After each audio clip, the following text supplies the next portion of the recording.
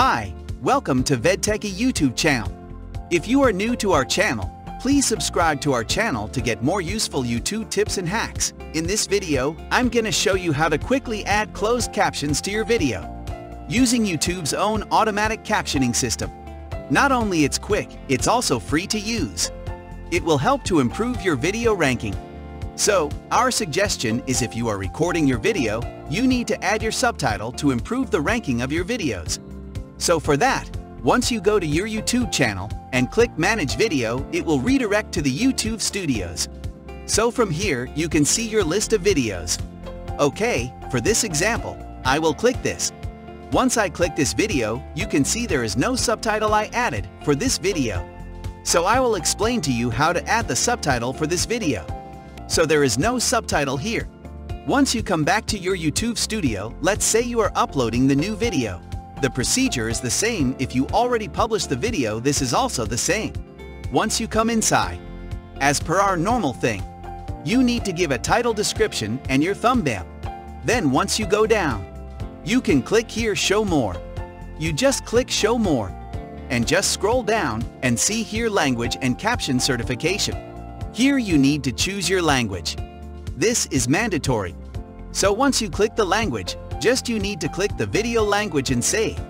If you are already published then the same thing, come here and you need to choose your video language and save it. Then you just go back and go to your subtitle. Actually depend on your video length for YouTube automatic captioning system.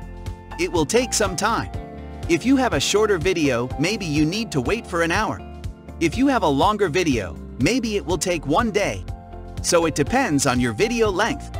So once you switch on inside the closed captioning, with your language then come back to the subtitle. So once you come back to the subtitle, see here, this is the video. You can see here it's published. Then here you can see edit, right. So this is the transcription that YouTube automatically generated for this video. So once you click the edit timing from here you just play. So now the video is playing. Side by side you can see the caption here. Hi, Welcome to VidTechy and so on. In this video, we are going to see how to find the URL for the YouTube video ads. So from here, you can see if there are any mistakes. You can edit that and the correct sentence and then just need to publish it.